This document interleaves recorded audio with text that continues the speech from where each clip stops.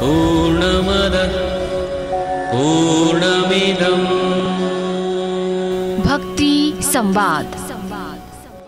दर्शक नमस्कार। धर्म संस्कृति र संस्कारको संवाहक नेपालको पहिलो धार्मिक तथा आध्यात्मिक टेलिभिजन भक्ति दर्शन टेलिभिजनको विशेष प्रस्तुति भक्ति संवादमा यहाँलाई हार्दिक स्वागत गर्दछु। म हेमा शर्मा। दर्शकबिन यस प्रस्तुति अन्तर्गत रहेर हामीले विशेष गरी धार्मिक आध्यात्मिक विषयवस्तुमा केन्द्रित रहेर चर्चा परिचर्चा गर्दै आएका छौँ र साथसाथै हामी जीवनसँग प्रत्यक्ष सम्बन्ध राख्ने विभिन्न आयामहरूमा पनि केन्द्रित रहेर कुराकानी चर्चा परिचर्चा गर्ने गर्दछौँ र आजको यस्तै कुराकानीको लागि हामीसँग रहनुभएको छ स्वामी शैलेन्द्र सरस्वतीजी उहाँ चाहिँ ओसोका सहोदर अनुज अथवा अर्थात् चाहिँ भाइ हुनुहुन्छ उहाँ र उहाँ चाहिँ पेसाले मेडिकल डक्टर हुनुहुन्थ्यो र पच्चिस विगत पच्चिस वर्षदेखि उहाँ चाहिँ स्पिरिचुअल लिडरको रूपमा चाहिँ आध्यात्मिक चेतना चाहिँ ज जनजनमा चाहिँ उहाँले फैलाउँदै आउनुभएको छ र नेपालमा चाहिँ उहाँ वर्षेनी कम्तीमा पनि दुई पटक आउनुहुन्छ र यसरी उहाँ चाहिँ नेपालसँग पनि उहाँको लगाव छ। उहाँले नेपालमा पनि आध्यात्मिक यो ज्ञानहरू छर्नको लागि उहाँ पटक पटक यहाँ आइरहनु भएको छ। हामी उहाँलाई सर्वप्रथम कार्यक्रममा स्वागत गर्न चाहन्छौँ र साथसाथै यहाँलाई एउटा अनुरोध गर्न चाहन्छु। उहाँलाई चाहिँ हिन्दी भाषामा बोल्दाखेरि केही सजिलो हुने भएकोले मैले यहाँहरूसँग उहाँसँग चाहिँ हिन्दीमा कुराकानीको लागि अनुमति पनि माग्दछु। नमस्कार यहाँको कार्यक्रम में बहुत स्वागत है। नमस्कार।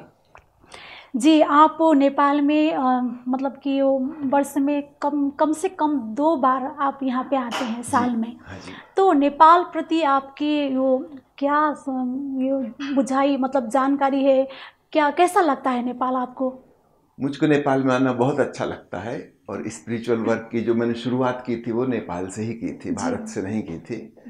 उन्नीस सौ अंठानबे में मैं पहली बार चितवन आया था सौराह में वहाँ पर हमारा आश्रम है। वहाँ पर मैं रहा पहली बार इतने सारे नेपाली मित्रों से मिला मुझे बहुत अच्छा लगा। और मैंने ये देखा कि नेपाल के लोग ज़्यादा सरल हैं भावुक हैं हृदयपूर्ण हैं। भारत के लोगों की तुलना में या पश्चिम के लोगों की तुलना में तो बहुत सरल हैं और बड़ी आसानी से ध्यानस्थ हो जाते हैं। भक्ति भाव में डूब सकते हैं। जो लोग जितने ज़्यादा बुद्धिजीवी होते गए इंटेलेक्चुअल होते गए वे उतने ही ज़्यादा हृदय से भक्ति भाव से दूर हो गए। तो नेपाल में मैंने पाया कि यहाँ के लोग भक्ति भावना में ध्यान साधना में बड़ी सरलता से डूब सकते हैं। और तब मुझे बड़ा अच्छा लगा। और जिन मित्र ने मुझे बुलाया था उन्होंने मुझसे रिक्वेस्ट की कि आप यहीं रहिए। फिर मैं अपना मेडिकल का जॉब छोड़ के मेरी पत्नी म्यूज़िक टीचर थी उन्होंने भी अपना जॉब छोड़ दिया और हम दोनों आगे करीब चार पाँच साल यहीं रहे। 2004 के बाद फिर हम यहाँ से भारत गए वापस यहाँ से और अन्य जगह जाते रहते थे जापान गए हैं और दूसरे दूसरे देशों में गए हैं। पर नेपाल से हमारा विशेष लगाव हो गया और तब से हम करीब करीब हर छः महीने में एक बार ज़रूर यहाँ आते हैं। जैसे कि नेपाल से पहले बार आपने शुरू किया जो आपने बोला ना तो इसका कोई कारण वजह था कि ऐसे ही ये संजोग हुआ? अस्तित्व की मर्ज़ी कहें प्रभु की मर्ज़ी कहें है ना? मुझे तो कुछ पता नहीं था यहाँ के बारे में। अचानक एक दिन स्वामी ओम भारती नाम के एक मित्र थे जो चितवन में एक ध्यान केंद्र चलाते थे। उनका फ़ोन आया मेरे पास। मैं उनको नहीं जानता था वो भी मुझे नहीं जानते थे। जैसे कि वो ओसो से बिलोंग करते थे कि हाँ ऐसे वो ओशो को बिलोंग करते थे। उनका फ़ोन आया कि आप हमारे यहाँ आइए ध्यान शिविर लेने के लिए ध्यान कंडक्ट करने के लिए। तो मुझे यहाँ की कुछ जानकारी नहीं थी। मैंने उनसे डिटेल्स पूछे। वो तीन दिन बाद हमारे घर ही पहुँच गए। उनका मैं आपको लेने ही आ गया हूँ और हमारे साथ चलिए। मैं आया हमको बहुत अच्छा लगा और हमने डिसाइड किया कि हम कुछ साल यहीं रहेंगे।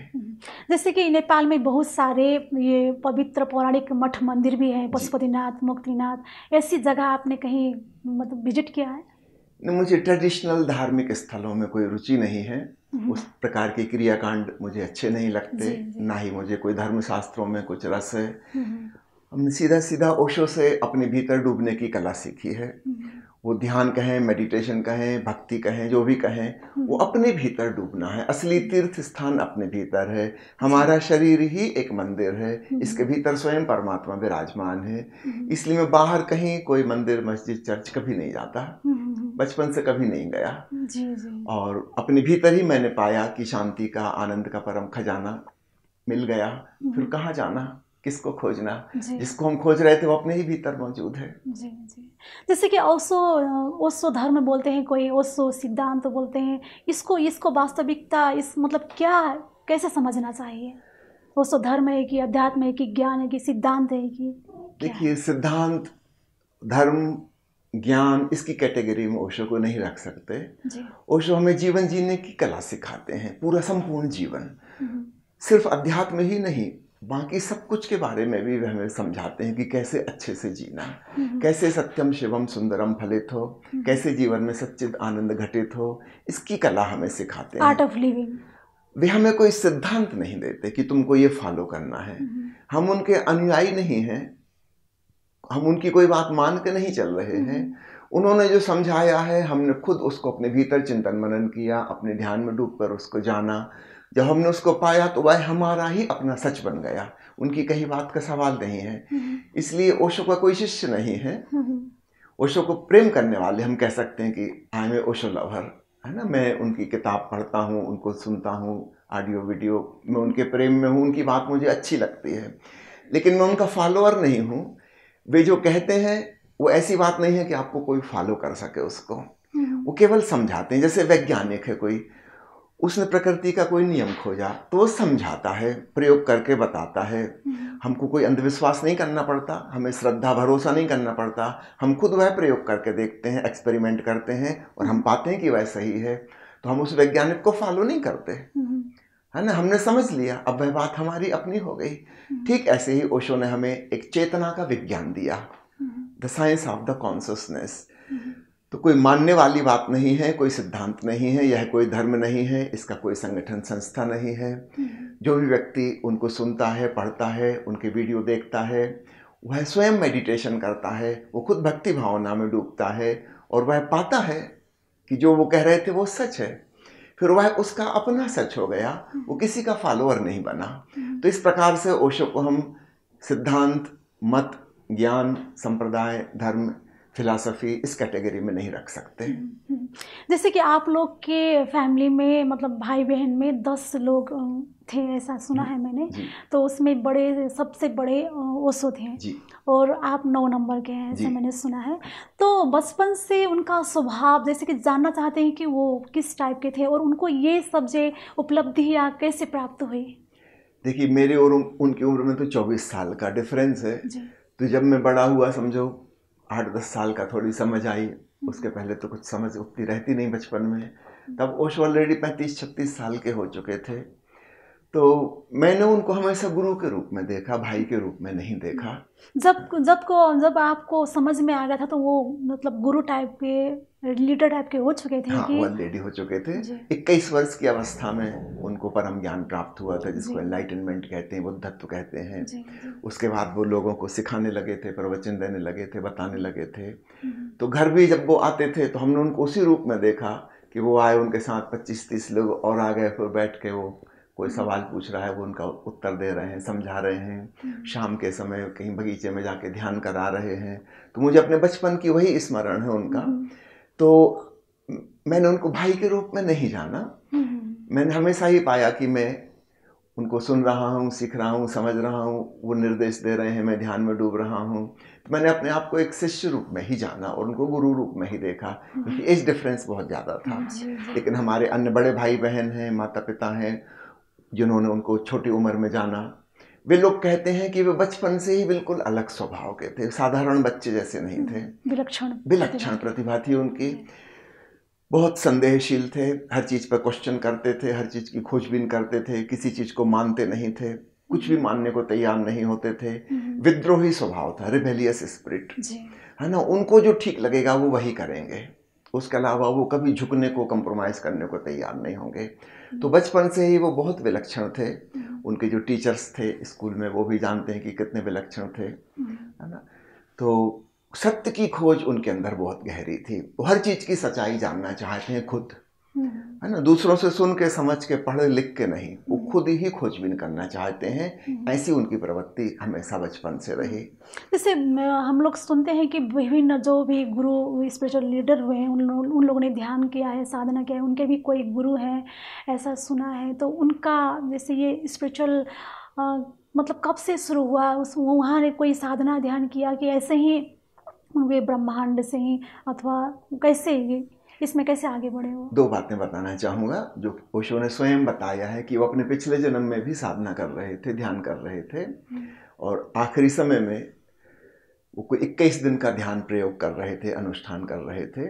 और उम्मीद थी कि इक्कीस दिन पूरा हो जाने पर उनको ब्रह्म ज्ञान हासिल हो जाएगा। लेकिन तीन दिन पहले ही उनकी हत्या कर दी किसी ने तो अंतिम तीन दिन शेष रह गए थे। वो पिछले जन्म की पिछले जन्म की कहानी है। उस समय उनकी काफ़ी उम्र थी है ना? लेकिन अंतिम तीन दिन का वो पूरा अनुष्ठान नहीं हो पाया। तो उसको पूरा करने के लिए उन्होंने यही जन्म लिया था। और पिछले जन्म में जो तीन दिन का काम बाकी था इस जन्म में इक्कीस साल पूरा करने में लगे। एक एक दिन के लिए सात सात साल। तो वो साधना करते रहे ध्यान करते रहे। दूसरी बात आपने पूछी है कि उनके कौन गुरु थे? ऐसा समझें कि उनका कोई एक विशेष व्यक्ति गुरु नहीं था। पूरा जीवन ही गुरु। हर घटना से उन्होंने कुछ सीखा। जो भी उनको मिला, उससे उन्होंने कुछ सीखा। तो हम ऐसा नहीं कह सकते कि फला फला गुरु के वो शिष्य हैं। जो भी क्रांतिकारी गुरु होते हैं, इस बड़े बड़े स्पिरिचुअल लीडर होते हैं, अक्सर आप देखेंगे उनका स्वयं का कोई गुरु नहीं होता। उन्होंने खुद ही खोजबीन की। हाँ उनसे हज़ारों लोगों को लाभ मिलता है ना? हम भगवान महावीर के बारे में देखें, जैन धर्म के प्रवर्तक। उनका कोई गुरु नहीं था। भगवान बुद्ध का कोई गुरु नहीं था। गुरु नानक देव जी गुरु की महिमा ज़रूर गाते हैं पर कहीं उन्होंने अपने गुरु का नाम नहीं लिया। कौन है उनका गुरु? उनसे स्वयं सिख धर्म की शुरुआत हुई। तो कुछ लोग होते हैं क्रांतिकारी जिनसे एक नई श्रृंखला की शुरुआत होती है। अक्सर उनका कोई गुरु नहीं होता। उन्होंने खुद ही अकेले खोजबीन की बहुत मेहनत की। निश्चित रूप से उनको समय बहुत लगता है बिना मार्गदर्शन के वो चल रहे हैं। लेकिन वो खूब भटके खूब भटके जन्मों जन्मों में तो उनको सारे रास्तों का पता हो जाता है। तो उनका तो कोई विशेष गुरु नहीं होता लेकिन वो लाखों लोगों के लिए अच्छे गुरु बन जाते हैं। इसका ठीक उल्टा जो दूसरे का मार्गदर्शन लेके चलता है उसकी नॉलेज बहुत लिमिटेड होती है। उसको तो बना बनाया रास्ता मिल गया उस रास्ते पे वो चल के मंजिल तक पहुँच गया। जितना सिखाया है उतना ही सीख पाएगा उतना ही सीखा और वो उसने भी मंजिल पा ली। मंजिल पाने के बाद कोई दोबारा तो भटकेगा नहीं। तो उसको केवल एक मार्ग का पता है सारे मार्गों का नहीं पता। इसलिए वो स्वयं जो एक अच्छा शिष्य बन गया वो एक अच्छा गुरु नहीं बन सकता। और जो अच्छा शिष्य बन जाएगा वो गुरु नहीं बन सकता और जो गुरु बहुत अच्छे बनते हैं वो कभी शिष्य नहीं थे। क्योंकि वो खुद खूब भुटके सभी मार्गों पे चल चल के उन्होंने देखा उन्हें सारी दुनिया का पता है और इसलिए वो बहुत अच्छे से दूसरों को उपदेश दे सकते हैं। तो सुनने में बड़ी विचित्र लगती है बात लेकिन यही सच है जो बड़े गुरु होते हैं वे स्वयं किसी के शिष्य नहीं होते और जो अच्छे शिष्य होते हैं वो कभी अच्छे बड़े गुरु नहीं बन सकते। हैं जैसे कि ये हम लोगों ने गीता में भी सुना है कि जैसे साधना करते करते जिसकी मतलब वो चला जाता है इस संसार से तो अगले जन्म में फिर उसको वही साधना मिलती है ऐसा गीता में भी लिखा है। तो इसको सच सच ही है ये बात? हाँ एक सीमा तक यह बात सच है। जैसे कि एक बार जब ब्रह्म ज्ञान हो गया और फिर जब शरीर छूटा तो वह व्यक्ति ब्रह्म में लीन हो गया फिर उसका वापस लौटना नहीं होता। अगर उसमें कुछ कमी रह गई है जैसे ओशो के पिछले जन्म में तीन दिन की कमी रह गई थी तो उनको एक जन्म लेने का और मौका मिला। लेकिन जब ब्रह्म में लीन हो गया पूरी तरह से तो फिर वापस लौटना नहीं फिर आवागमन से मुक्ति हो गई मोक्ष हो गया। उस व्यक्ति की फिर कोई साधना नहीं है उसने तो साध्य को पा लिया लक्ष्य को पा लिया जब मंजिल को पा लिया तो फिर मार्ग की कोई ज़रूरत नहीं रही। ऐसे व्यक्ति ज़्यादा से ज़्यादा एक जन्म और ले सकते हैं करुणावश। हम्म, दूसरों को सिखाने के उद्देश्य से। लेकिन वो ज़रूरी नहीं है कि जन्म लें। हो सकता है लें हो सकता है ना लें। हम्म, उनके हाथ में है। सामान्य व्यक्ति जो जन्म लेता है वो अपनी वासना के कारण कामना के कारण लेता है। हम्म, अगर एक व्यक्ति मर रहा है समझो उसको लालच था कि मैं इतना धन कमा लूँ इतनी यश प्रतिष्ठा पा लूँ फला मंत्री पद पे पहुँच कोई इच्छा कामना है? इच्छा है। वो उसकी अधूरी रह गई। तो इसको पूरी करने के लिए उसको फिर प्रकृति मौका देगी कि तुम फिर जन्म लो अपनी कामना पूरी करो। बार बार बार बार आवागमन का चक्र चलता रहेगा। हम्म, लेकिन जो व्यक्ति निष्काम हो गया फलाकांक्षा रहित हो गया अब उसको कुछ भी नहीं चाहिए उसको परमानंद मिल गया वो क्यों आएगा? लेकिन फिर भी एक छोटी सी चांस रहती है कि करुणावश दूसरों को बताने के लिए सिखाने के लिए वो एक बार आ सकता है। कृपा करने के कृपा करने के लिए आ सकता है। जैसे कि ये ओसो ओसो बोलते हैं इसका तात्पर्य क्या है खास में? ओशो एक नया शब्द है। इसका निर्माण स्वयं ओशो ने ही किया। पहले उनको हम लोग आचार्य रजनीश कहते थे। जब वो प्रोफेसर थे हिंदी में प्रोफेसर को आचार्य बोलते हैं। हम्म, फिर जब उनके बहुत भक्त हो गए तो उनको भगवान पुकारने लगे है ना? फिर उन्होंने अपना नाम एक बार चेंज किया था। भगवान गौतम बुद्ध की आत्मा उनमें प्रवेश की। करीब एक सप्ताह बुद्ध उनके भीतर रहे तब उन्होंने अपना नाम बदल के बुद्ध से जोड़ दिया था। हम्म, फिर एक सप्ताह बाद उन्होंने नाम चेंज कर लिया फिर। और तब एक नया शब्द उन्होंने उपयोग किया ओशो। ये अंग्रेज़ कवि हुए हैं विलियम जेम्स। उनकी एक कविता है ओशनिक एक्सपीरियंस सागरी अनुभव। जैसे कोई नदी जब समुद्र में जाके मिलती है फिर वो नदी तो नदी नहीं बची वो तो समुद्र ही हो गई। इसके पहले उसका नाम था वो गंगा थी कि यमुना थी कि ब्रह्मपुत्र थी कि नारायणी थी उसका कोई नाम था उसका एक उद्गम था मूल स्रोत था उसके दो तट थे किनारे थे लंबा यात्रा पथ था सागर तक पहुँचने का। उसकी अपनी एक कहानी थी एक व्यक्तित्व था। अलग पहचान थी। पहचान थी एक उसकी। लेकिन जब वो सागर में मिल गई अब तो उसकी कोई पहचान नहीं बची अब तो स्वयं ही सागर हो गई। ठीक ऐसे ही संत कबीर साहब ने भी एक वचन कहा है हेरत हेरत हे सखी रहा कबीर हेराए बूंद समानी समुद्र में सो कथेरी जाए। कहते हैं खोजते खोजते कबीर स्वयं ही खो गया। जैसे कोई बूंद समुद्र में गिर गई अब बूंद तो नहीं बची। अब उसको कहाँ खोजेंगे? जिसको खोज रहे थे वो मिल गया समुंदर लेकिन अब बूंद ना बची। ठीक ऐसा ही कुछ होता है। जब भगवान मिल जाता है तो भक्त समाप्त हो जाता है भक्त नहीं बचता। अद्वैत। द्वैत नहीं रहता डुअलिटी नहीं बचती। ठीक ऐसे ही जब ये शरीर छूटता है किसी बुद्ध पुरुष का तो ये उसके आखिरी कुछ बंधन थे रूपरेखा थी वो भी गायब हो गई और उसकी आत्मा परमात्मा के संग एक हो गई फिर वो अलग नहीं बचा। तो ये जो ओशनिक एक्सपीरियंस सागरी अनुभव जिसे हुआ उसका नाम ओशो। तो ये एक नया शब्द उन्होंने गढ़ा। हम्म। जैसे कि ये आत्मा परमात्मा की बातें कितने लोग नहीं मानते मानने वाले भी हैं तो इसके बारे में आप क्या बोलना चाहेंगे? मेरी दृष्टि में वो जो मानने वाले हैं आस्तिक और जो नहीं मानने वाले नास्तिक हैं इनमें कुछ ज़्यादा भेद नहीं है। दोनों अंधविश्वासी हैं ब्लाइंड बिलीवर्स बचपन से किसी ने सुना था कि आत्मा परमात्मा होते हैं उसके परिवार में आसपास के माहौल में वो मानने लगा। एक व्यक्ति सोवियत रूस में पैदा हुआ था कि चाइना में पैदा हुआ था जहाँ कम्युनिज्म था वहाँ सरकार ने टेक्स्ट बुक से हटा दिया था। आत्मा परमात्मा शब्द समाज में ख़त्म हो चुका था मंदिर मस्जिद सब मिटाए जा चुके थे। वहाँ के बच्चे ने सुना कि ऐसी कोई ईश्वर वगैरह नहीं होते। ये भी सुनी सुनाई बात है। और जिसने भारत नेपाल में पैदा हुआ था जिसने सुना था ईश्वर है। ये भी सुनाई सुनाई बात है। ये इनका अपना अनुभव नहीं है। तो आस्तिक और नास्तिक दोनों ही अंधविश्वासी हैं। एक ईश्वर के होने में विश्वास करता है एक ईश्वर के ना होने में विश्वास करता है। दोनों ही विश्वासी हैं। और मेरी दृष्टि में दोनों बराबर हैं।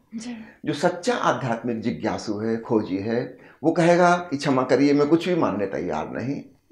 मैं खुद खोजूँगा मैं पता लगाऊँगा। जब खोज पूरी हो जाएगी तब मैं बताऊँगा क्या कंक्लूजन है। है ना? पहले से मैं कैसे कहूँ? है ना? तो एक सच्चा व्यक्ति जो सत्य की खोज में है वो आत्मा परमात्मा को ना तो मानेगा स्वीकार करेगा और ना ही इनकार करेगा। वो कहेगा मैं अज्ञानी हूँ मैं कैसे कहूँ? मुझे खोजबीन करने दो बताऊँगा बाद में पता लगाऊँगा। एक वैज्ञानिक चिंतन मनन वाली उसकी दृष्टि होगी साइंटिफिक थिंकिंग एक वैज्ञानिक कुछ मान के नहीं चलता वो प्रयोग करता है।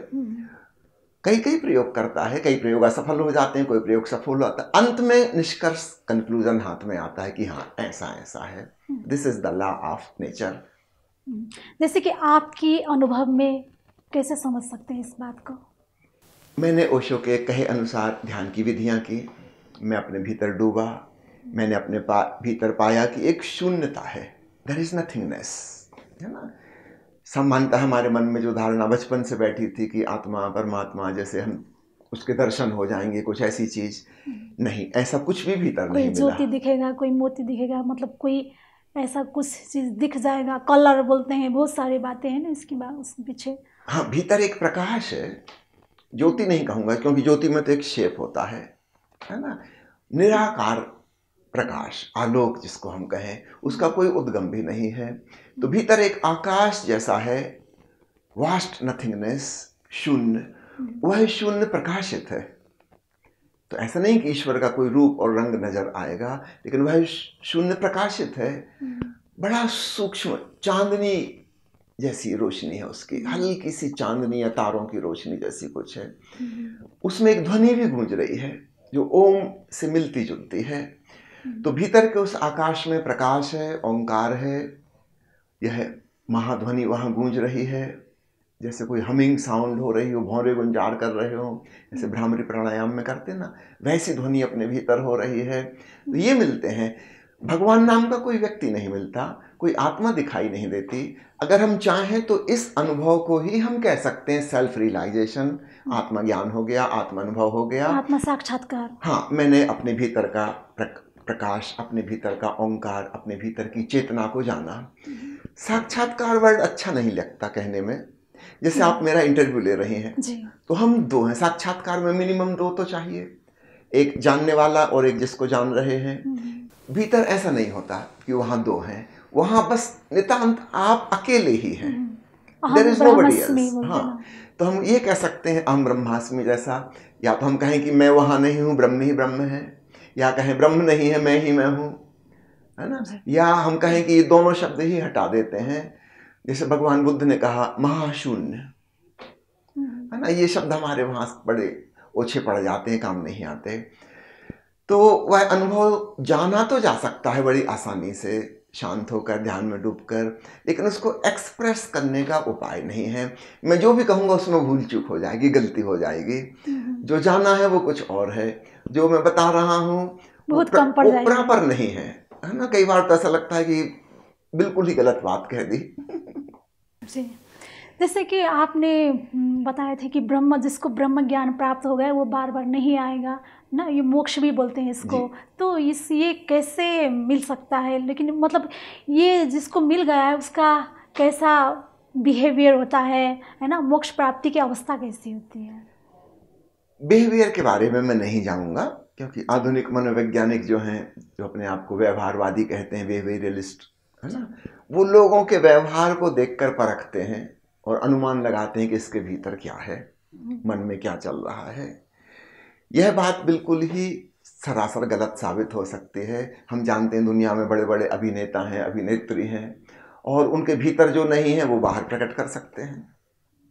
यहीं से पाखंड की शुरुआत होती है। जब हम पूछते हैं कि ब्रह्मज्ञानी के क्या लक्षण हैं कैसे पता चलेगा? उसका व्यवहार उसका आचरण कैसे होगा? अब यहीं से एक मुश्किल खड़ी होती है। जैसे ही हमने परिभाषा की कोई ना कोई नाटक करने वाला आदमी वैसा पाखंडी व्यवहार करने लगेगा।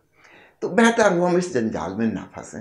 है ना? उसकी हम्म। बात वो जाने। हम्म। हाँ इससे झूठा झूठा पाखंड होगा बेईमानी होगी हम्म। झूठ आ जाएगा। हम आए दिन सुनते हैं बड़े बड़े साधु सन्यासी झूठे साबित हो गए पाखंडी निकल गए। सालों साल से वो एक एक्टिंग कर रहे थे नाटक कर रहे थे। क्योंकि वैसा करने से उनको सम्मान मिल रहा था इज़्ज़त मिल रही थी। इसलिए मैं इस बात में बिल्कुल नहीं जानना चाहता कि ब्रह्मज्ञानी का आचरण कैसा होता है। हर ब्रह्मज्ञानी का आचरण भिन्न होता है। क्या भगवान राम किसी के जैसे थे? क्या उन्होंने किसी की नकल की? नहीं। वो बिल्कुल यूनिक थे। फिर भगवान कृष्ण आए। क्या वो राम जैसे थे? बिल्कुल नहीं थे। हंड्रेड परसेंट नहीं थे। ही वॉज़ टोटली डिफरेंट भगवान महावीर आए। और अलग। बुद्ध आए। सौ प्रतिशत अलग। गुरु नानक देव जी आए कि रामकृष्ण परमहंस आए। सब अलग अलग हम अतीत उठा के देखें क्या दो ब्रह्मज्ञानी एक से हुए आज तक कभी? तो आगे भी नहीं हो सकते।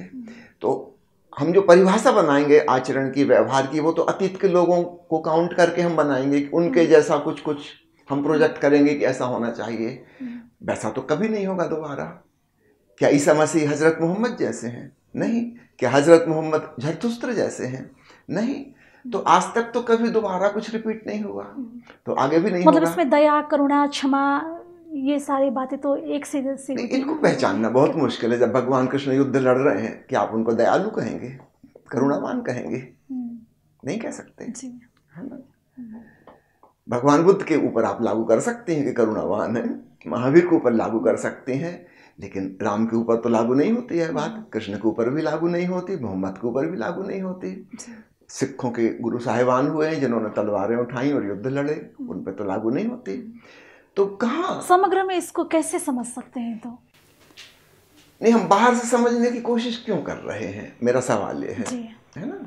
हम ये पहला सवाल आपका ठीक जो आपने पूछा कि इसको हम कैसे पाए? यहाँ तक ठीक है।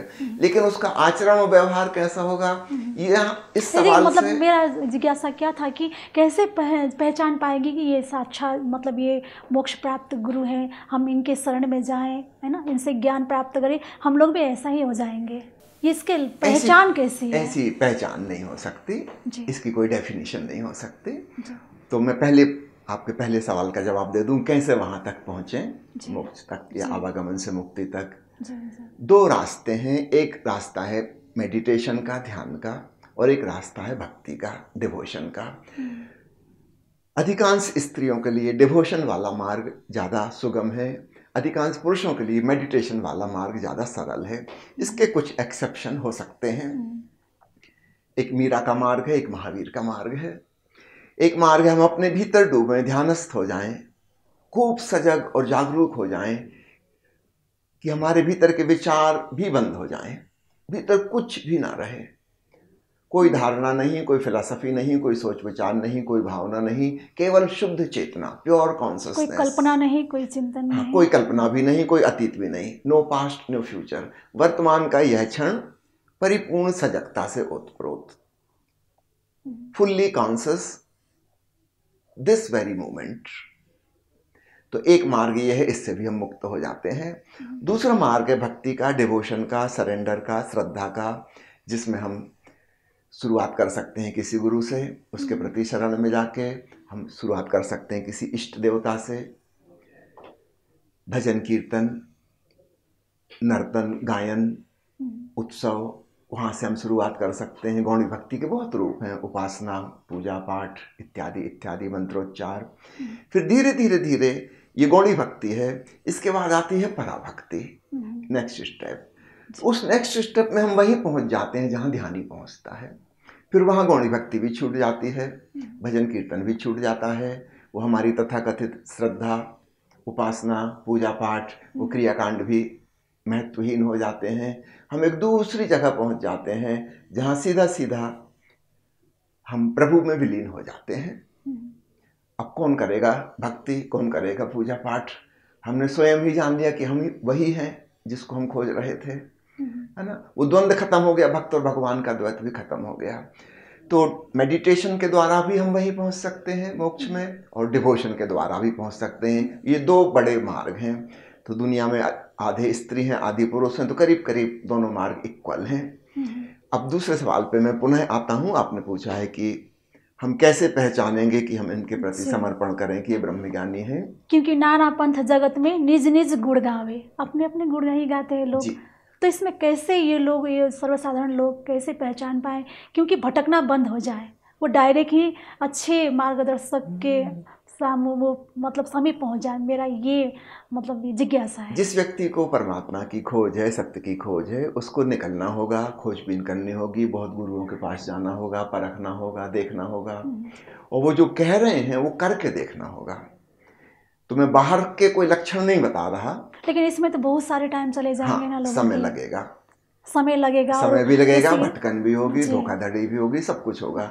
लेकिन इस खोजबीन करते करते ही हमारे भीतर एक मेच्योरिटी और परिपक्वता आएगी और हम सही व्यक्ति को पहचान पाएँगे। हम्म, यानी कोई बता खुद नहीं ही सकता पहचान पाएँगे। खुद ही पहचानना होगा हम्म, है ना? इसको ऐसा समझिए श्रद्धा को या समर्पण भाव गुरु के प्रति शिष्य भावना जो उत्पन्न होती है जैसे साधारण जगत में प्रेम होता है। तो ऐसी कोई परिभाषा तो नहीं है कि प्रेमिका कैसी होनी चाहिए, प्रेमी कैसा होना चाहिए, है ना? कोई व्यक्ति युवा हो गए, उनकी उम्र हो गई, एक सेक्सुअल मैच्योरिटी आ गई और खोजबीन शुरू हो गई अपने योग्य साथी की। निश्चित रूप से खूब धोखाधड़ी भी होगी। कई जगह भटकना होगा, कई जगह धोखा मिलेगा, बुरी तरह से कई बार दिल टूटेगा ये भी होगा ये ज़रूरी है। It is part of life इससे धीरे धीरे धीरे परिपक्व बनता है व्यक्ति। और अंततः हम पाते हैं हमने अपने ऐसे जीवन साथी को खोज लिया जिसके लिए हम जैसे एक दूसरे के लिए बने हों। लेकिन इसमें भटकन तो है। कोई रेडीमेड नक्शा नहीं मिल सकता कि ऐसा ऐसा करने से ऐसा हो जाएगा ऐसा नहीं होगा है ना? और जब हमको वह व्यक्ति मिल जाता है तो अचानक हमारे हृदय में एक भावना उठती है समथिंग अननोन पजेसेस कोई अज्ञात शक्ति हमको घेर लेती है और दोनों को पता लग जाता है कि एक प्रेम घटित हो गया। इसको हम किसी गुणा भाग में हिसाब किताब में नहीं बिठा सकते कि ये कैसे होगा। आज तक कोई नहीं कर पाया। है ना? ठीक इसी प्रकार कौन गुरु कौन शिष्य है ना? बड़ी खोजबीन करनी होगी भटकन होगी समय भी खराब होगा सब कुछ होगा लेकिन ऐसा करते करते करते कभी ऐसा होगा कि अचानक किसी से मिलने पर something will click in your heart जैसे साधारण जगत में प्रेम उत्पन्न होता है ऐसे ही आध्यात्मिक रूप से श्रद्धा पैदा हो जाती है। और तब हमें पता होता है कि मिल गया वह व्यक्ति जिसके चरणों में हमें झुक जाना है और हमको मिट जाना है और खो जाना है। है ना? वो अचानक होता है है ना? लेकिन हम खोजबीन करेंगे तो ही होगा वह अचानक वाली घटना भी। तो इसलिए मैं कोई प्रमाण नहीं देता कि ब्रह्मज्ञानी कैसा होता है। मैं कहता हूँ तुम खोजो तुम्हारी जितनी समझ है जितनी बुद्धि है उससे तुम खोजो। और खोजने का मतलब ये नहीं कि हम उसकी परीक्षा ले रहे हैं। हम कौन होते हैं? हम अज्ञानी हैं। हम ज्ञानी की परीक्षा कैसे लेंगे? है ना? लेकिन वो जो कह रहा है वो जो रास्ता बता रहा है ध्यान का भक्ति का उसको मैं करूँ? उसके करने से अगर अच्छा परिणाम आता है इसका मतलब वो व्यक्ति सही कह रहा है। यदि उसको करने से अच्छा परिणाम नहीं आता इसका मतलब वो गलत कह रहा है मैं वहाँ से हट जाऊँ। मेरे लिए वो व्यक्ति नहीं है। इसका ये भी नहीं कि वो व्यक्ति गलत है। है ना? मैं अपना ही निर्णय लूँ यह व्यक्ति मेरे लिए नहीं है। अगर मीराबाई जैसी भक्त भगवान महावीर के पास पहुँच जाती खोजबीन करते उसको तो अच्छा नहीं लगता कुछ है ना? उसको तो किसी और की तलाश है।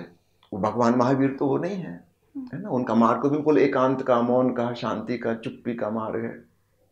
कहाँ मीराबाई नाचती गाती खंजड़ी बजाती हुई भजन गाती हुई साज श्रृंगार किए हुए महावीर तो कोई जचेंगे ही नहीं। ये कभी गुरु शिष्य नहीं हो सकते, है ना? उसका मार्ग कुछ और होगा। वो कृष्ण की खोज में है। उसको कृष्ण जैसे व्यक्ति ही उसके गुरु हो सकते हैं। तो हम सब अलग अलग लोग हैं।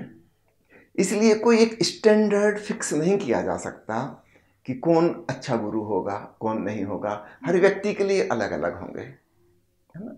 इसलिए हमको इस झंझट में पढ़ना ही नहीं चाहिए कौन ब्रह्मज्ञानी है कौन नहीं है। हम खोजबीन करें और वो जो कह रहे हैं हम उसका प्रयोग करें। हम साधना करने को तैयार हो जाएँ।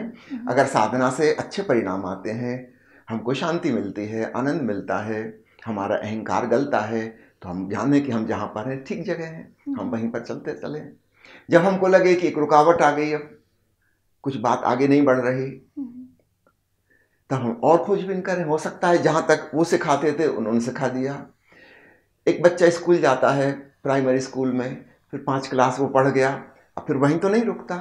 अब दूसरे शिक्षक हैं। मिडिल स्कूल जाएगा हाई स्कूल जाएगा कॉलेज जाएगा यूनिवर्सिटी जाएगा पोस्ट ग्रेजुएशन करेगा हो सकता है आगे पीएचडी करे। तो टीचर्स तो बार बार बदलेंगे। हम जिद तो नहीं करते किसी उसी टाइप का टीचर का मतलब नॉलेज जो गेन किया हुआ हमको टीचर ही मिलता जाएगा है ना? हम जो लाइन चुनेंगे हमको वैसा टीचर मिल जाएगा। ठीक ऐसे ही अध्यात्म में है। हमें एक जगह रुकना भी नहीं चाहिए। हमको जो भी गुरु मिले हैं हम उनसे सीखें। जितना वो सिखा सकते हैं उतना सीखें। हम्म, इसके बाद हम आगे बढ़ें। हो सकता है इसके आगे हमें कोई और कोई दूसरी बात बताने वाला हो। ये अपनी खोज में भी निर्भर होता होगा। अपनी निर्भर होगा। है ना? हमारी रुचि रुझान क्या है? हमारा मार्ग कौन सा है?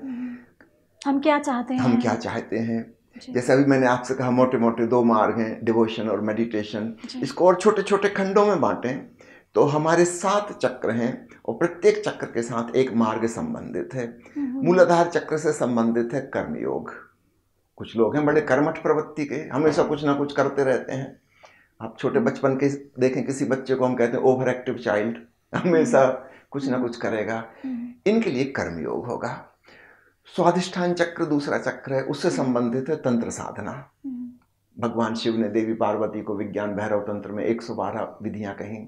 ये बिल्कुल अलग प्रकार की साधना है। अपनी इंद्रियों को ज़्यादा संवेदनशील बनाना है मोर सेंसिटिव बनना है हमको। वह तंत्र साधना ये एक अलग मार्ग है। तीसरा चक्र मणिपुर चक्र नाभि केंद्र भी जिसे हम कहते हैं मणिपुर। यह हमारा प्राणों का केंद्र है और यहाँ से संबंधित है प्राण योग हठ योग सांस की विभिन्न प्रकार की विधियाँ। पेट तक हमारी सांस जाती है मणिपुर चक्र को स्पंदित करती है। कुछ लोगों के लिए हठ योग बड़े काम का है।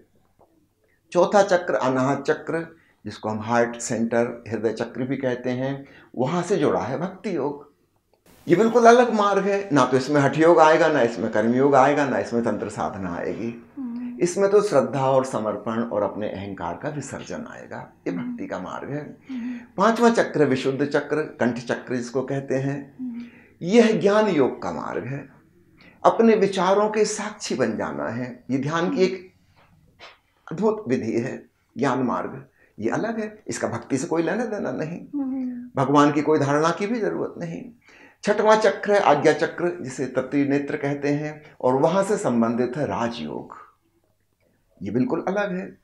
नीचे के पाँचों चक्रों से संबंधित योगों का इसमें समन्वय है। पाँचों आके मिल जाते हैं और एक राजपथ एक हाईवे बनता है। नीचे के पाँच मार्ग जो मैंने आपसे कहे कर्मयोग तंत्र योग हठ योग भक्ति योग ज्ञान योग ये छोटी छोटी पगडंडी जैसे हैं सकरे कभी कभार इन पर कोई चलता है। आज्ञा चक्र से राजयोग है जैसे राजपथ होता है चौड़ा रास्ता ऐसा है वो। ये सारे मार्ग वहाँ आकर मिल जाते हैं और सब प्रकार के लोग इस रास्ते पर चल सकते हैं। इसी को ध्यान योग भी कहते हैं। ओशो ने इसको बहुत ज़्यादा एम्फेसाइज किया। और इसके भी पार सातवां चक्र सहस्त्रार वहाँ से संबंधित है सांख्य योग। यह बहुत प्रचलित नहीं है। जी। अपने इतिहास में भी कुछ ही नाम आते हैं जैसे महर्षि अष्टावक्र हैं राजा जनक हैं कपिल मुनि हैं कणाद मुनि हैं ऐतिहासिक रूप से। आधुनिक युग में जय कृष्णमूर्ति जी हुए हैं ये सांख्य योग के प्रवर्तक हैं। इसमें कोई विधि नहीं होती कोई क्रिया नहीं होती कोई टेक्निक नहीं होती कोई मेथडोलॉजी नहीं होती। बस वे कहते हैं तुम जागो बात खत्म। कुछ और करना नहीं है। तो ये सात मार्ग हैं मुख्य रूप से। तो निश्चित रूप से अलग अलग लोगों के लिए अलग अलग मार्ग होंगे उनकी रुचि रुझान के अनुसार होंगे है ना? जो व्यक्ति बहुत ज़्यादा इंटेलेक्चुअल है ज्ञान में जीता है विचार ही विचार जिसके मन में बहुत हैं उसके लिए ज्ञान मार्ग बनेगा। कोई व्यक्ति इमोशनल है सेंटिमेंटल है बुद्धि प्रधान नहीं भाव प्रधान है हृदय से जीता है उसके लिए भक्ति मार्ग बनेगा। कोई व्यक्ति देह प्रधान है बॉडी ओरिएंटेड कर्मठ किस्म का है हमेशा कुछ करता रहता है उसके लिए कर्मयोग होगा। तो अलग अलग प्रकार के व्यक्ति के लिए अलग अलग प्रकार के गुरु होंगे। तो दूसरा हमको मैच नहीं करता इसका ये मतलब नहीं कि वो गलत हम उसके बारे में निर्णय ना लें। हमारा रास्ता वहाँ नहीं है तो हम कहीं और खोजें। इस प्रकार साधक को खोजना चाहिए। ब्रह्मज्ञानी की परिभाषा नहीं पूछना चाहिए वो संभव नहीं आज तक कभी नहीं हुई। जी। जैसे कि सातों चक्र जागृत होने पर मोक्ष मिलता है ऐसा बोलते हैं। इसका तात्पर्य क्या है? इसका तात्पर्य यही है कि सामान्यतः हमारे चक्र ऐसे हैं जैसे कि सोए हुए हों। ये बिजली के बल्ब जल रहे हैं इतने सारे लाइट जल रही है क्योंकि विद्युत ऊर्जा वहाँ तक पहुँच रही है। अगर मार्ग में कोई अवरोध आ जाए तो ये लाइट काम करना बंद कर देंगे बुझ जाएँगे। सब कुछ होगा पूरी मैकेनिज्म वहाँ है। कैमरा वहाँ रखा है लेकिन अगर इस तक विद्युत ऊर्जा नहीं आ रही तो कैमरा फ़ंक्शन लेस हो जाएगा। कनेक्शन नहीं हुआ तो? हाँ फ़ंक्शन नहीं करेगा वो। पंखा लगा है एसी लगा है गीजर लगा है फ्रिज रखा है घर में। लेकिन अगर करंट नहीं पहुंचेगा तो ये सब बेकार हो जाएँगे। होते हुए भी नहीं होने जैसे हैं। तो प्रकृति ने जो इंतज़ाम किया है हमारे भीतर, ये सात चक्र हैं, इनके डिफरेंट फ़ंक्शंस हैं। प्रकृति का काम चल जाता है नीचे के दो चक्रों को एक्टिव कर देने से। पहला चक्र हमारे शरीर के लिए है, हमारी फिजियोलॉजिकल नीड्स हैं। भूख लगती है, हमें भोजन चाहिए, प्यास लगी है, पानी चाहिए, सुरक्षा चाहिए, उसका बच्चा इंतज़ाम करने लगता है। अब छोटे छोटे पंछियों के बच्चों को देखें, पशुओं के बच्चों को देखें, थोड़े से बड़े हुए, अपना भोजन पानी वो तलाशने लगे और वो इंडिपेंडेंट हो जाते हैं। बॉडी सर्वाइवल की इंस्टिंक्ट है, पहले चक्र में, मूलाधार चक्र में, अपने शरीर को बचाओ, उसकी रक्षा करो। दूसरा चक्र सेक्सुअलिटी से संबंधित है। चौदह साल की उम्र में मनुष्यों में वह विकसित हो जाता है और व्यक्ति रिप्रोडक्शन में सक्षम हो जाता है। तो पहला चक्र था अपने शरीर को बचाने के लिए दूसरा चक्र है अपनी जाति की रक्षा के लिए। हम्म। इसके पहले कि हम वंश वृद्धि के लिए वंश वृद्धि के लिए। इसके पहले कि हमारी मृत्यु हो हम अपने जैसे कुछ और इंसानों को जगत में छोड़ जाएँ ताकि हमारी जाति यह वंश ये चलती निरंतरता। रहे निरंतरता बनी रहे। हम्म। तो ये दो चक्र तो प्रकृति हमारे सक्रिय कर देती है। इसमें हमको कुछ नहीं करना पड़ता। अपने आप हो जाता है। हम पाते हैं कि एक उम्र आते आते तो हम फिजिकली फुली ग्रोन अप हो गए। सत्रह अठारह साल में सेक्सुअल मेच्योरिटी आ गई। We are able to marry and reproduce प्रकृति का काम यहाँ खत्म हो जाता है। बाकी के चक्रों को अगर हम कोशिश करेंगे साधना करेंगे तो जागृत होंगे। अपने आप नहीं होंगे। तो विशुद्ध चक्र की अनाहत चक्र की आज्ञा चक्र की सहस्त्रार हम कोशिश करेंगे वहाँ फोकस करेंगे उसकी विधि का इस्तेमाल करेंगे तब वो जागृत होंगे। क्योंकि प्रकृति को उनकी कोई विशेष ज़रूरत नहीं है। उसके बिना काम चल रहा है। सारे पशु पंछी पहले और दूसरे चक्र से ज़िंदा हैं और करोड़ों साल से उनकी जाति चल रही है। कोई प्रॉब्लम नहीं। मनुष्य के साथ एक नई स्थिति बनती है। हम पशुओं से भिन्न हैं। हमारे पास कुछ और पोटेंशियल भी है। हम सुपर कॉन्सियसनेस को प्राप्त कर सकते हैं। जितने कॉन्सियस प्रकृति ने हमको बनाया है, हम वहीं पर रुकना ज़रूरी नहीं है। हमारे अंदर बहुत छिपी हुई हिडन टैलेंट्स हैं। हम चाहें उनको विकसित करने का मौका हमने दिया तो विकसित हो जाएँगी और हमने मौका नहीं दिया तो नहीं होंगी। कोई व्यक्ति पेंटर बन सकता है, कोई बड़ा प्रसिद्ध संगीतकार बन सकता है, कोई खूब अच्छा डांसर बन सकता है, कोई ड्रेस डिज़ाइनर बन सकता है, कोई बड़ा दार्शनिक बन सकता है, कोई वैज्ञानिक बन सकता है। अगर इसका अवसर मिलेगा और उसकी मेहनत की जाएगी बड़ी साधना करनी पड़ी होगी है ना? कोई वैज्ञानिक ऐसे नहीं बन जाता कोई संगीतकार यूँ ही नहीं बन जाता चालीस पचास साल चार चार घंटे पाँच पाँच घंटे रोज साधना करता है तब जाके वो प्रसिद्धि पाता है संगीत में। तो जिस प्रकार ये हिडन टैलेंट्स हैं इसी प्रकार हमारे हिडन चक्र हैं है ना? हम मेहनत करेंगे उस पर ऊर्जा डालेंगे तो विकसित हो जाएँगे। अपने आप नहीं होंगे है ना? इन चक्रों को ऐसा समझें पोटेंशियल फंक्शनिंग यूनिट्स लेकिन वहाँ पर हमारी लाइफ फोर्स जिसको कुंडलनी कहते हैं वो वहाँ पर पहुँचेगी तब जाके वो एक्टिव होंगे नहीं तो नहीं होंगे। तो ध्यान की विधियों के द्वारा तांत्रिक साधनाओं के द्वारा हठयोग के द्वारा राजयोग और सांख्योग के द्वारा भी इन चक्रों को विकसित किया जाता है। और जब ये सातों ठीक अलाइनमेंट में आ जाते हैं और सातों खूब अच्छे से फ़ंक्शन कर रहे हैं अपनी परिपूर्णता में तब हमारे भीतर परमानंद घटित होता है। और तब हम जीवन मुक्त हो जाते हैं। जैसे कि ओसो के विभिन्न प्रवचन में वो संभोग से समाधि तक की जो बातें आती हैं हम्म। इसका तात्पर्य वास्तविकता क्या है? क्या कहना चाहते हैं इसमें? देखिए लोगों ने जो समझा वो बहुत गलत समझा। जी। क्योंकि यहाँ पे बहुत सारे मत मतांतर हैं बहुत सारे समझ अपने अपने तरीका से इसको समझा है। हम्म। तो इसका वास्तविक तात्पर्य क्या है? अभी थोड़ी देर पहले मैंने मेंशन किया था कि भगवान शिव ने देवी पार्वती को विज्ञान भैरव तंत्र नामक ग्रंथ में 112 विधियाँ दी। उन 112 विधियों में तीन विधियाँ काम वासना से संबंधित हैं। ये भगवान शिव के द्वारा दी गई विधि हैं। हम्म। तो ओशो ने उसी को विस्तार से समझाया है। ओशो ने विज्ञान भैरव तंत्र पर प्रवचन दिए लंबी प्रवचन माला दी और हम्म। संभुक से समाधि की ओर में उसी बात का ज़िक्र किया है उन तीन विधियों को समझाया है हम्म। व्यक्ति संभोग के द्वारा भी समाधि तक पहुँच सकता है हम्म। हमारे जीवन की कोई भी घटना कोई भी प्रक्रिया कोई भी एक्शन हमको ध्यान में डुबा सकती है भोजन करना भी ध्यानपूर्ण हो सकता है स्नान करना भी ध्यानपूर्ण हो सकता है बातचीत करना भी ध्यानपूर्ण हो सकता है कोई मंदिर में जाके पूजा पाठ करना ही अकेला ध्यानपूर्ण नहीं है। हम्म। हमारे जीवन की छोटी छोटी चीज़ बुद्ध ने कहा सांस भी लो तो ध्यान पूर्वक लो। हम्म। अनापान सती योग विपස්සना तो दुनिया के भिन्न भिन्न गुरुओं ने जीवन की सभी छोटी छोटी प्रक्रियाओं को ध्यान में कन्वर्ट कर दिया। निश्चित रूप से सेक्स भी एक महत्वपूर्ण हिस्सा है जीवन का। हम्म। जितना महत्वपूर्ण सांस है जितनी महत्वपूर्ण भोजन है उससे कम महत्वपूर्ण वही नहीं जीवन की शुरुआत ही वहाँ से होती है। उसके साथ भी अवेयरनेस ध्यान जोड़ा जा सकता है यह बात ओशो ने उसमें समझाई है हम्म। और यह बात ओशो की कोई मौलिक बात नहीं है भगवान शिव पाँच हज़ार साल पहले यह बात बता के गए हैं जो हम्म। विज्ञान भैरव तंत्र नामक ग्रंथ में संकलित है हम्म। तो ओशो ने इसको कहा कई लोग किताब के टाइटल से ही कन्फ्यूज़ हो जाते हैं पर मैं कहना चाहूँगा समझो एक किताब है जिसका नाम है बीमारी से स्वास्थ्य की ओर गरीबी से अमीरी की ओर इसका क्या मतलब हुआ? किस चीज़ के पक्ष में है? स्वास्थ्य के पक्ष में है? अमीरी के पक्ष में है। गरीबी में तो है हम लेकिन वहाँ से हमें हटना है। हम्म।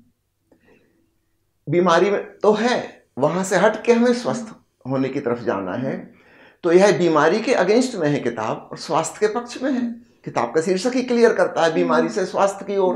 हम बीमार हैं लेकिन हम स्वस्थ भी बन सकते बन सकते हैं। हम्म। ठीक है? हम गरीब हैं तो हम कोशिश करेंगे तो हम अमीर भी बन सकते हैं ऐसे ही इस किताब का शीर्षक है from sex to super consciousness sex में तो हम हैं ही। हमारा जन्म ही उसमें हुआ और हम उसी में जी रहे हैं। लेकिन हम वहाँ से मूव कर सकते हैं और हम सुपर कॉन्सियसनेस की तरफ़ ब्रह्म चेतना की तरफ़ जा इसका सकते हैं। उपभोग करके इसका भोग करके भी हम ब्रह्म तक भी पहुँच सकते हैं। तो संक्षेप में उसको कह लें काम से राम की ओर काम से ब्रह्म की ओर है ना?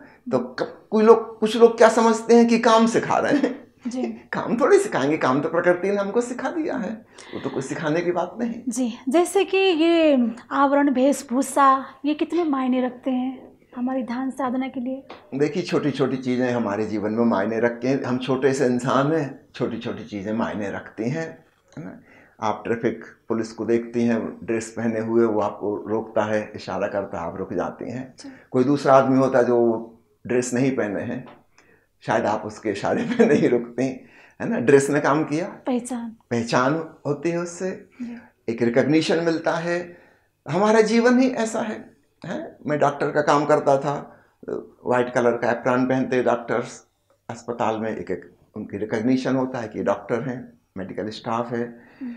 इसमें कलर भी महत्वपूर्ण होता है कलर का भी कोई भूमिका होता है? तो सबसे पहले तो समझ लें कि हमारे जीवन में छोटी छोटी चीज़ों का महत्व है। माना कि कपड़ा एक बहुत छोटी सी चीज़ है और रंग भी बहुत छोटी सी चीज़ है लेकिन महत्व हर चीज़ का है। हम क्या खाते हैं क्या पीते हैं क्या पहनते हैं कैसे उठते बैठते हैं कैसे बात करते हम्म। हैं हर चीज़ हमारे जीवन को प्रभावित करती है और हमारी भीतर रूपांतरण उससे घटित आवश्यक भी है। एक सीमा तक आवश्यक है एक सीमा के बाद आवश्यक नहीं है है ना? एक सीमा के बाद आवश्यक नहीं है। तो शुरुआत में तो ज़रूरी है हम सैनिक को एक प्र- विशेष प्रकार की ड्रेस पहनाते हैं। टाइट कपड़े बेल्ट कसा हुआ टाइट जूते और हैट लगाए हुए। क्यों? क्योंकि उसको बहुत एक्टिविटी वाला काम करना है। उसको आक्रमण करना है। उसके कपड़े ही ऐसे हैं कि वो हिंसक और वायलेंट हो जाए। इसका ठीक विपरीत सन्यासी है। उसको टाइट कपड़े हम नहीं पहनाएँगे उसको हम ढीले ढाले कपड़े पहनाएँगे। उसको तो शांति से ध्यान में बैठना है भक्ति भाव में डूबना है उसको किसी पर आक्रमण थोड़ी करना है। उसको तो स्वीकार भाव में मौज में मस्ती में आनंद में जीना है शांति से। उसके वस्त्र भी ऐसे हों जो शांत होने में मददगार हों। अगर हम कंफर्टेबल हो। कंफर्टेबल हों रिलैक्स करने वाले हों कम से कम हों है ना? मैं देखता हूँ भारत में साल में नौ महीने तो गर्मी रहती है। और अंग्रेज़ों के गुलाम रहे, वो गुलामी अभी तक चल रही है। लोग अभी भी पैंट, शर्ट, टाई पहने हुए हैं। सांस लेना मुश्किल पड़ रहा है। टाई पहने, क्यों पहने भाई? भाई, अंग्रेज़ पहनते थे, ठीक उनके ठंडे देश में ठंडी हवा ना लग जाए। ऊपर से कोट पहने हैं। हद हो गई मूर्खता की। पसीना पसीना हो रहे हैं। कोट पहनने की क्या ज़रूरत है? तो एक सन्यासी के भी अपनी ड्रेस है है ना? सन्यासी का अपना कोड है और अलग अलग रंगों के अलग अलग प्रभाव हैं। उदाहरण के लिए सूफियों ने हरा रंग चुना। है ना? वो भक्ति मार्ग है, हृदय प्रधान अनाहत चक्र का रंग हरा रंग है। तो जब वो अपने भीतर जाते हैं, उन्हें हरा रंग दिखाई देता भक्ति भाव में डूबकर उनके लिए परमात्मा हरा है। संस्कृत में भी परमात्मा के लिए एक शब्द है, हरी। है ना? हरापन, हरियाली जीवंतता जहाँ है तो कुछ लोगों ने हरा रंग चुना। हिंदुओं ने गैरिक रंग चुना, सूर्योदय का रंग। तो जब कोई व्यक्ति सन्यासी होता है उसके जीवन में एक नया सूर्योदय हो रहा है ध्यान का सूरज उग रहा है है ना? उसने उन्होंने वह रंग चुना वह भी प्यारा रंग है गैरिक रंग सन्यासियों का भगवा रंग बहुत सुंदर रंग है। जैनों ने सफ़ेद रंग चुना क्योंकि उनका मुख्य ज़ोर त्याग पर है सब कुछ छोड़ देना है। पवित्रता। पवित्रता शुद्धि तो सफ़ेद रंग चुना। फिज, फिजिक्स के केमिस्ट्री के आप याद करेंगे हाई स्कूल में पढ़ा होगा आपको पता होगा सफ़ेद रंग वो रंग होता है जिस पर प्रकाश की किरण जब पड़ती तो सबको लौटा देता है। कुछ भी एब्जॉर्व नहीं करता। सारे रंग लौट जाते हैं। ये रिनंशिएशन का त्याग का प्रतीक हो गया। जैन मुनि बड़ा त्यागी है। वो श्वेत वस्त्र धारण करेगा। फिर उसमें भी दिगंबर हैं। उन्होंने वस्त्र ही छोड़ दिए। उतना भी धारण पूरा ही त्याग कर दिया। इसके ठीक विपरीत कुछ संप्रदाय हैं जो काले रंग का वस्त्र पहनते हैं। ये एक दूसरा प्रतीक है काला रंग सभी सभी रंगों को एब्जॉर्ब कर लेता है। कुछ भी वापस रिफ्लेक्ट नहीं अपने में समाहित कर लेते अपने में समाहित कर लेता है। तो ये स्वीकार भाव का तथाता भाव का प्रतीक बन गया कि मैं सब कुछ एब्जॉर्ब कर लूँगा। जो भी मुझे मिलेगा मुझे सब स्वीकार है हृदय से स्वीकार है। तो ये एक प्रतीक बन गया। भगवान बुद्ध ने पीला रंग चुना। वो मणिपुर चक्र की साधना करा रहे थे अनापान सती योग सांस आती जाती सांस वहाँ पे जो व्यक्ति केंद्रित होगा, वहाँ उसको पीला रंग दिखाई देगा। और भगवान बुद्ध ने त्याग सिखाया, घर परिवार छोड़ के भिक्षु हो जाना है। तो ऐसे ही जैसे कोई हरा पत्ता सूख जाए और पीला पड़ जाए, अब उसको पेड़ को छोड़ना है, गिर गिर जाना है वहाँ से। तो वह उनका प्रतीक बन गया पीला रंग। ठीक इसी प्रकार अलग अलग रंगों के अपने अपने महत्व हैं। जैसे कि ओसो में जो जुड़े हुए हैं वो उन लोग को माला धारण करते हुए मैंने देखा है। इसका भी कोई मतलब है कि ऐसे ही ये पहचान की निशानी है? पहचान की निशानी कम हमारे अपनी साधना का सूत्र ज़्यादा है। आप माला में देखती हैं एक सौ आठ घुरिए होते हैं अक्सर है ना? बीच में ओशो की लॉकेट है चित्र है उनका। तो चूँकि हमारे वे इष्ट हैं हमारे प्रिय हैं हमने उनको श्रद्धा और समर्पण के भाव से देखा है हमारे। सदगुरु हैं। तो दिन में कई बार माला पर नज़र पढ़ ही जाएगी दिख जाएँगे फिर फिर उनकी याद आ जाएगी याद आ। जाएगी। तो दूसरों को पहचान बताने के लिए नहीं है ये तो हमारी अपनी साधना के लिए है। और वो जो 108 मन के होते हैं माला में वो प्रतीक हैं ध्यान की विधियों के। ध्यान की विधियाँ किसी भी मन के से शुरू करो भीतर एक धागा है वह साक्षी भाव का प्रतीक है। तो विधि टेक्निक कुछ भी हो सकती है भक्ति की विधि अलग होगी तंत्र की विधि अलग होगी ज्ञान मार्गी की अलग होगी आज्ञा चक्र की अलग होगी हठ योगी की अलग होगी विधि कोई भी हो भीतर का वह सूत्र वह धागा वह साक्षी भाव उसको पकड़ लो और तुम यहाँ तक पहुँच जाओगे केंद्र बिंदु में अपनी मंजिल तक पहुँच जाओगे हम्म। तो ये ओशो ने हमको माला दी उनके प्रति हमारा समर्पण का भाव है हम उन्हें धारण किए हुए हैं। हम्म। ये हमारे नाभि चक्र के पास या हृदय चक्र के पास है। वास्तव में तो वो हमारे हृदय में भीतर विराजमान है। हम्म। तो बाहर उसी का एक प्रतीक है। इसको सिंबॉलिक काव्यात्मक रूप से समझें। तो भौतिक रूप से मैं नहीं कह रहा हूँ कि इसका इतना महत्व है लेकिन भावनात्मक रूप है। हम्म। समझो एक युवती ने एक रुमाल बनाकर अपने गर्ल बॉयफ्रेंड को दिया। रुमाल हो सकता है दस रुपये में बाज़ार में मिलता हो लेकिन उसके बॉयफ्रेंड के लिए करोड़ों करोड़ों रुपए से भी ज़्यादा कीमती है। मुझको इसने दिया है वो याद दिलाता याद दिलाता रहेगा है ना? तो ये रुमाल अब एक साधारण रुमाल नहीं रहा हम्म। है ना? एक प्रेम का प्रतीक है उसकी याद दिलाने वाला है। याद का प्रतीक। याद का प्रतीक है। तो अपने ही लिए है ये माला दूसरों के लिए नहीं रिकग्निशन के लिए नहीं कि दूसरे रिकग्नाइज करें वो करें ना करें उससे क्या फ़र्क पड़ता है? मुझे बार बार स्मरण आता रहे। जब मैं ध्यान करने बैठूं माला पहन के बैठूं हम्म। है ना तो मुझे भाव रहेगा कि ओशो मेरे साथ मौजूद हैं। मुझे वो दिन याद आ जाएँगे जब एक्चुअली मैं उनके सामने बैठ के प्रवचन सुनता था। आज मैं अपने कमरे में सीडी प्लेयर पे उनका प्रवचन सुनूँगा यह माला पहन के बैठूँगा शांत होकर मुझे पुनः वही स्मरण आ जाएगा। रीलिविंग मैं फिर से वही पल जी लूँगा। तो ओशो मेरे लिए विदा नहीं हुए। मेरे लिए अभी भी मौजूद हैं। उनकी दिव्य उपस्थिति उनकी डिवाइन प्रेजेंस हमेशा मौजूद है। तो यह मेरे लिए यह भावनात्मक है। जैसे कि ध्यान की बातें करते करते मेरे को इतना आनंद आ रहा है कि आपसे जब बात कर रहे थे लग रहा है कि बहुत इतना वो आनंद का बयान नहीं कर सकते। लेकिन ये जो ध्यान ध्यान हम लोग ने बहुत बार बोला ये ध्यान कैसा होता है? कैसे किया जा सकता है? ध्यान जो ध्यान की बातें हम लोग कर रहे हैं ना अभी तो वास्तविक एक्चुअल इसका ये कैसे घटित होता है इसको कैसे किया जा सकता है संक्षेप में बताइएगा क्योंकि हमारे पास टाइम थोड़ा कम है। ध्यान निर्विचार जागरूकता की अवस्था का नाम है। थॉटलेस हम्म। अवेयरनेस उसका नाम मेडिटेशन है। मन में कोई भी विचार ना हो और हम पूरी तरह से सजग हों। क्योंकि थॉटलेसनेस की अवस्था रात में भी आती है जब सपने बंद हो जाते हैं घंटे दो घंटे के लिए सुसुप्ति की अवस्था ड्रीमलेस स्लीप लेकिन वहाँ पर अवेयरनेस नहीं होती। थॉटलेसनेस होती है लेकिन अवेयरनेस नहीं होती। हम्म। क्या हम जागरूक होकर वैसी अवस्था प्राप्त कर सकते हैं कि मन बिल्कुल चुप हो जाए? मौन साइलेंट और हम पूरी तरह सतर्क हों। उन क्षणों में हम अपने आप को जान लेते हैं अपनी आत्मा को पहचान लेते हैं। इसका नाम ध्यान है। कैसे करते हैं? इसकी बहुत सारी विधियाँ हैं। मुख्य रूप से सात प्रकार के योग मैंने कहे। फिर एक एक योग में भी बहुत बहुत सारी विधियाँ हैं। तो ओशो के द्वारा बनाई गई कुछ विधियों के नाम आपको बताता हूँ जो बड़े काम की हैं आधुनिक युग में।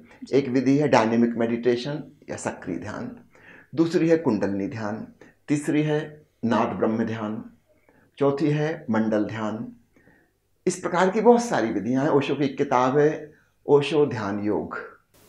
आप उसे पढ़ सकती हैं, सुन सकती हैं। मैं आपको इसमें यही भी बता दूँ कि ओशो के सारे ऑडियो और वीडियो प्रवचन और सारी किताबें ऑनलाइन फ्री ऑफ़ चार्ज उपलब्ध हैं। तो आप ओशो वर्ल्ड डॉट कॉम की वेबसाइट से सारे ऑडियो डाउनलोड कर सकती हैं। ओशो फ्रेगरेंस की वेबसाइट से सारी किताबें हिंदी की अंग्रेज़ी की जिनकी गिनती 650 से अधिक है उनको डाउनलोड कर सकती हैं और ओशो के सारे वीडियो वे भी ऑनलाइन उपलब्ध हैं। तो कोई भी व्यक्ति ओशो की किताब ध्यान योग पढ़ सकता है और भी किताब है एक ध्यान सूत्र किताब है बहुत अच्छी। एक किताब है ध्यान दर्शन। भक्ति के ऊपर भी ओशो की बहुत सी किताबें हैं उसमें एक है अताथो भक्ति जिज्ञासा ऋषि शांडिल्य के ऊपर। दूसरी है नारद मुनि के भक्ति सूत्र पर उसका नाम भक्ति सूत्र है। तो ध्यान और भक्ति इन दो के मार्गों पर चलने के लिए इनसे आपको विधियाँ मिल जाएँगी कैसे? हम्म। जैसे कि आपने नेपाल में भी इसके लिए कुछ कुछ यहाँ पे मतलब आश्रम जैसा या ध्यान स्थल जैसा की योजना बनाई है ऐसा सुना है? ये कहाँ कहाँ है ये? कैसे जा सकते कैसे जुड़ सकते लोग? अभी मैं पिछले तीन हफ़्ते से नेपाल में ही हूँ। तो सबसे पहले मैं गया था इलाम में एक जगह है हरकटे। खूब सुंदर पर्वतीय स्थल है। गर्मी में भी ठंडा रहता है। वहाँ पर एक छोटा सा आश्रम बना हुआ है। वहाँ पर एक ध्यान शिविर लिया। उसके बाद में आया चितवन। चितवन में सौराहा नाम का एक गाँव है जहाँ पर नेशनल चितवन पार्क है। वहीं पर एक खूबसूरत आश्रम बना हुआ है करीब छः एकड़ ज़मीन में खूब हरा भरा और वहाँ पर हमारे रेगुलर कार्यक्रम चलते हैं। हम्म। इसके बाद में गया पोखरा। वहाँ पर स्वामी तीर्थ जी हैं। उनके परिवार ने ही एक आश्रम बनाया हुआ है। वहाँ पर एक सप्ताह का कार्यक्रम वहाँ हुआ। अभी मैं काठमांडू आया हूँ और आज मुझे भारत वापस लौटना है। लगभग छः महीने बाद मैं पुनः वापस आऊँगा। तो बहुत सारी जगहों पर अलग अलग कार्यक्रम चलते हैं। हम्म, तो उसमें जुड़ना कैसे होगा? सबसे अच्छा जुड़ना होगा हमारे ऑनलाइन कार्यक्रम से कोई व्यक्ति जुड़ जाए तो वहाँ से आपको सारी इन्फॉर्मेशन रेगुलर मिलती रहेगी। मैं हर हफ़्ते सभी मित्रों के प्रश्नों के जवाब भी ऑनलाइन देता हूँ। हम्म।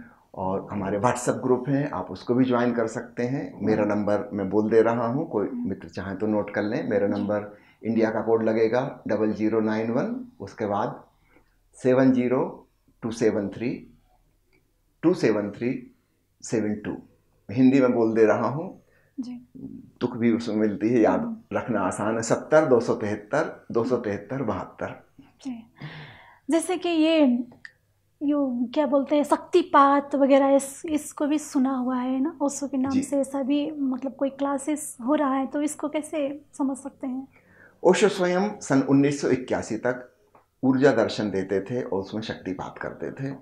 बाद में उन्होंने उसको छोड़ दिया और उन्होंने कहा कि मैं एक बेहतर तरकीब दूसरी विधि खोज रहा हूँ जो इससे ज़्यादा सॉफ्ट हो। क्योंकि शक्तिपात में कुछ उसके साइड इफ़ेक्ट भी हैं। जैसे किसी मेडिसिन के साइड इफ़ेक्ट होते हैं। ठीक ऐसी मेडिटेशन की विधियों के भी कुछ कुछ साइड इफ़ेक्ट होते हैं। तो शक्तिपात में एक मुश्किल यह थी कि जिस व्यक्ति को शक्ति दी है वह एक प्रकार की मानसिक गुलामी महसूस करने लगता है जो कि अच्छी बात नहीं है। है ना? वो डिपेंडेंट हो जाता है। तो ओशो नहीं चाहते कोई उनके ऊपर डिपेंडेंट हो। तो बाद में उन्होंने दूसरी विधि खोजी जिससे ज़्यादा अच्छी थी। प्रभावशाली। ज़्यादा प्रभावशाली और सामूहिक रूप से की जा सके। शक्तिपात एक एक व्यक्ति पे करना होता है। टाइम हम्म। कंज्यूमिंग है। तो बहुत बड़े ग्रुप पे कैसे करें? तो ओशो ने प्रवचन देने की ऐसी शैली अपनाई जिसमें वो धीरे धीरे बोलते हैं रुक रुक कर बीच बीच में पॉज आता है। हम्म। और उसमें वही घटना घटती है जो शक्तिपात में घटती है। हम्म।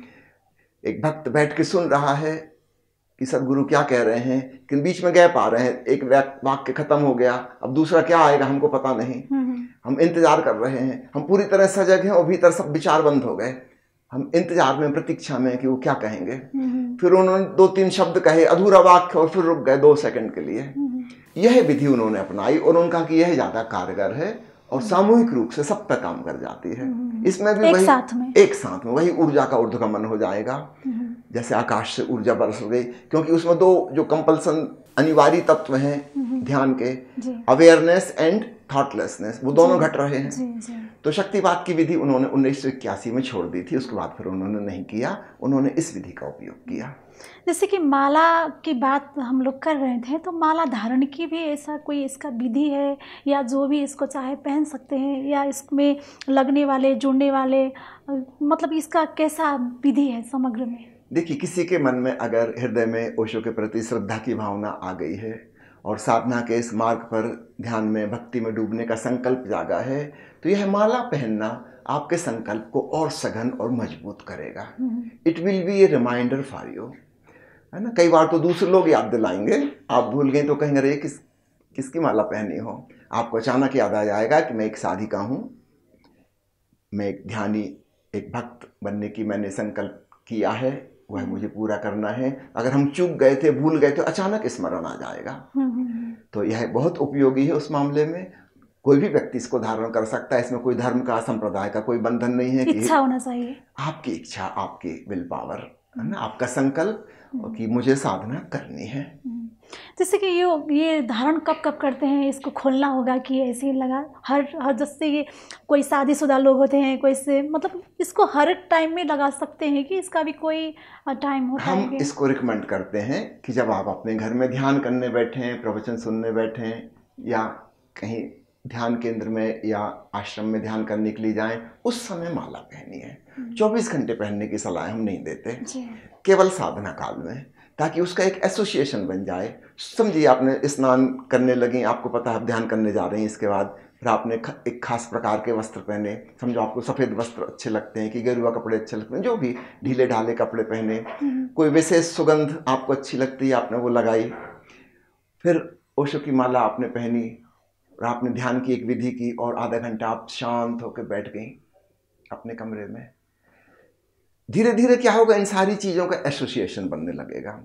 जहाँ हम स्नानागार में गए, वहीं हमको ध्यानपूर्ण हम होने लगे।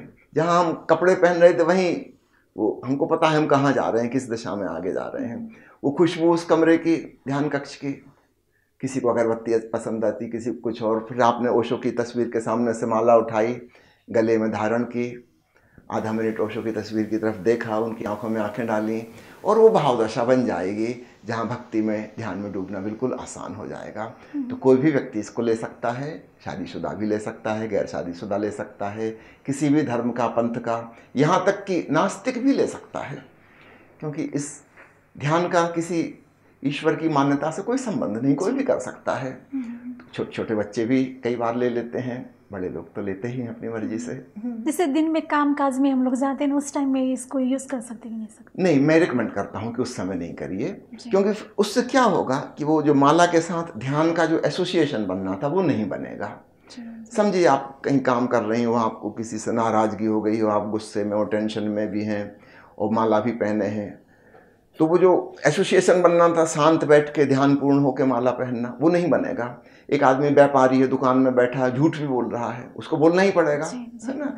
अब वो माला पहन के झूठ बोल रहा है अच्छी बात नहीं है। जी जी। नहीं जब आप कुछ नहीं कर रहे हैं ध्यान कर रहे हैं केवल उस समय पहने अपने घर में या जब आप कहीं आश्रम में या ध्यान केंद्र में जाते हैं वहाँ ध्यान करने समय पहने ताकि माला का एसोसिएशन ध्यान से बने अन्य चीज़ों से टूट जाए।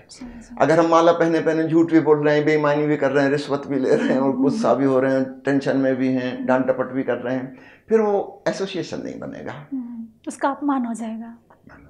अंत में क्या ये समग्र बातें की बातों को लेकर अंत में क्या आप कहना चाहेंगे जो टेलीविज़न देख रहे हैं दर्शक उनको क्या संदेश देना चाहेंगे आप? सभी दर्शकों को श्रोताओं को मैं कहना चाहूँगा अपने जीवन में दो छोटी सी बातें जोड़ लीजिए जिनको हम मेडिटेशन और डिवोशन कहते हैं और सरल शब्दों में इसको कह दूँ होश और प्रेम। देखें आप कितने होशपूर्ण हैं, क्या और ज़्यादा होशपूर्ण हो सकते हैं? आपके जीवन में कितनी प्रेम की सद्भावना है? क्या आप और ज़्यादा प्रेमपूर्ण और ज़्यादा करुणावान और ज़्यादा सहानुभूतिपूर्ण हो सकते हैं? होके देखें, निश्चित रूप से हो सकते हैं। धीरे धीरे आपके जीवन में प्रेम का और होश का विकास हो तो आपके भीतर एक लविंग कॉन्सियसनेस ग्रोथ करने लगेगी। और आप पाएँगे धीरे धीरे आप स्पिरिचुअलिज्म के डायमेंशन में प्रवेश कर गए। बस यही छोटा सा संदेश आपको देना चाहता हूँ। पुनः स्मरण दिला दूँ मेरा phone number zero zero nine one seven zero two seven three two seven three seven two आप इस पर मुझे व्हाट्सएप पर मैसेज भेज दीजिए अगर आप हमसे जुड़ना चाहते हैं। हमारे ऑनलाइन कार्यक्रम महीने में दो बार चलते हैं अल्टरनेट वीक एक एक हफ़्ते के लिए। आप उसमें ज्वाइन कर सकते हैं, अपने घर बैठे ध्यान कर सकते हैं, सीख सकते हैं।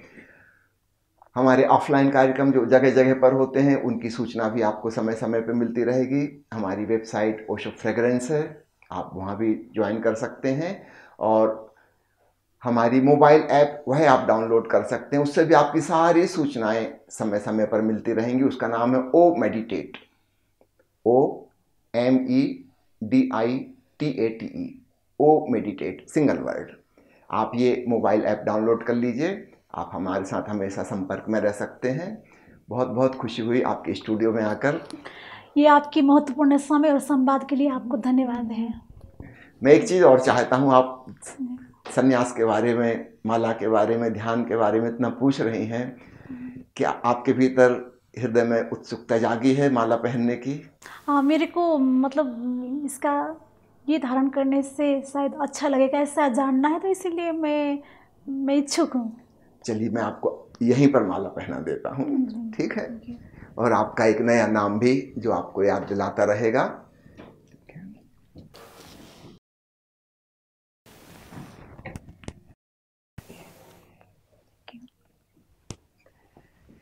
माला के साथ साथ एक नया नाम भी आपको देता हूँ।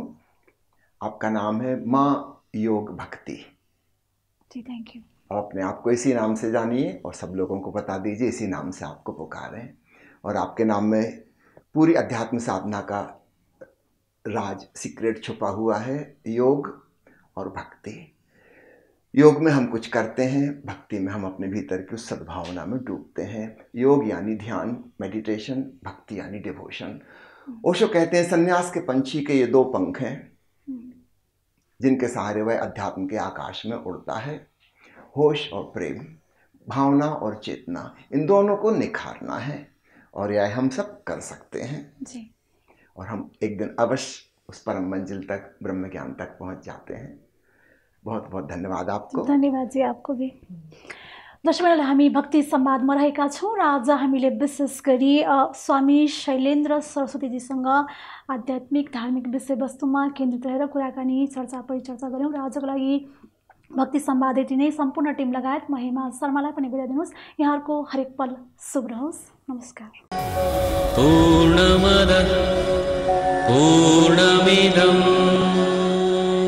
भक्ति संवाद